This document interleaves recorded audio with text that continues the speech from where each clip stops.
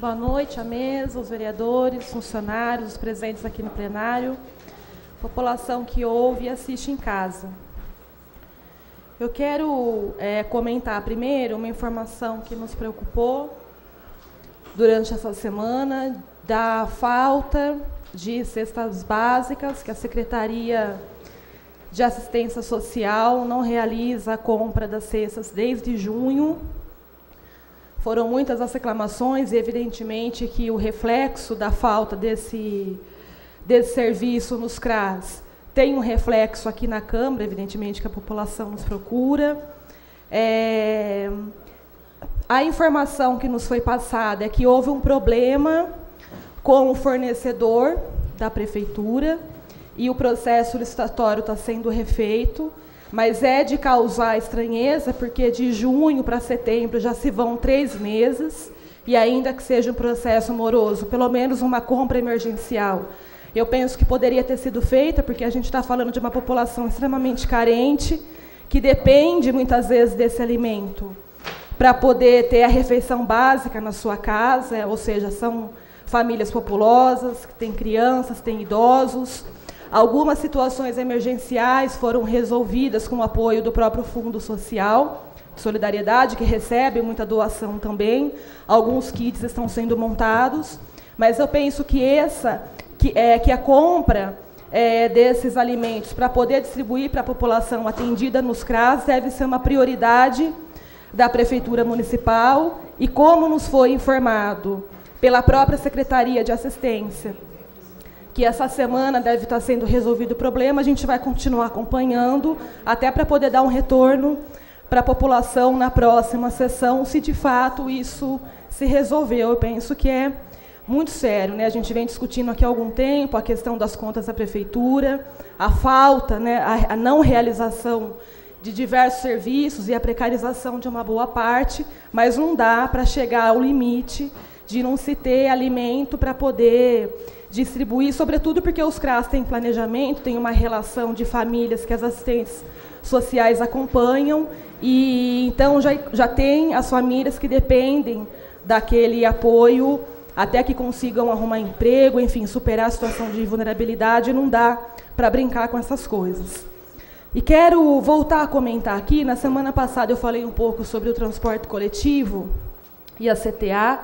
Fiz um, um, ofício à Comissão Permanente de Transportes, que o vereador Elias Chediac, inclusive, me informou que já encaminhou para a CTA, pedindo informações sobre esse processo da venda dos cartões de passe estudante, o múltiplo comum pela Paraty.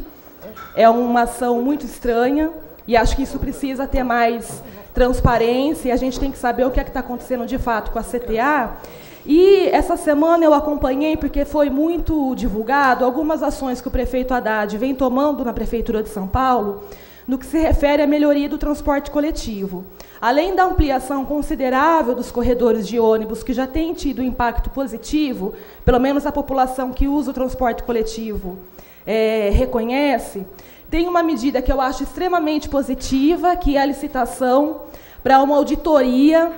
na, nos contratos das empresas terceirizadas, porque em São Paulo ele é todo é, privatizado nos últimos 10 anos, e com uma inovação, inclusive, de que o resultado dessa auditoria vai ser usado para aperfeiçoar o modelo de cálculo da tarifa e atualizar o custo do setor já na próxima licitação. Será revisto o valor dos investimentos e dos lucros das 16 empresas cooperativas de ônibus no período que vai de agosto de 2003 a julho desse ano. Ele vai usar o resultado dessa auditoria, inclusive, para poder fazer uma avaliação em relação à margem de lucro das empresas e aquilo que elas alegam como custo para poder chegar àquele valor de tarifa. Além disso, ontem o prefeito teve reunido com a presidente Dilma, o prefeito Haddad, que é o presidente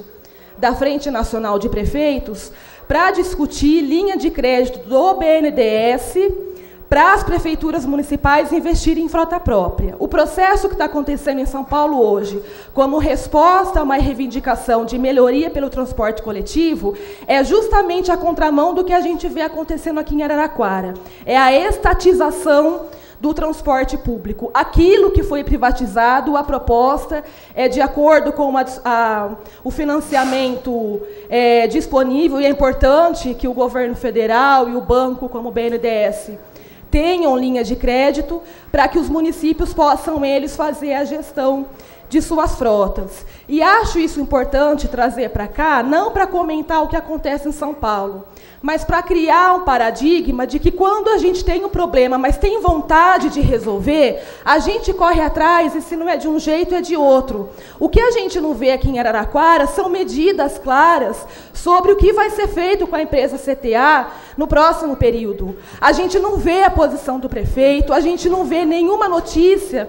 de que, é, que reflita no empenho por parte do governo municipal em resolver o problema é, da CTA. A gente viu algumas declarações do vice-prefeito, do COCA, de que está elaborando um plano de mobilidade que discute a CTA. Isso não é feito de forma transparente, não é feito de forma coletiva. O que fica dessa história é que quando tem vontade, resolve. Quando não tem, Obrigado. precariza.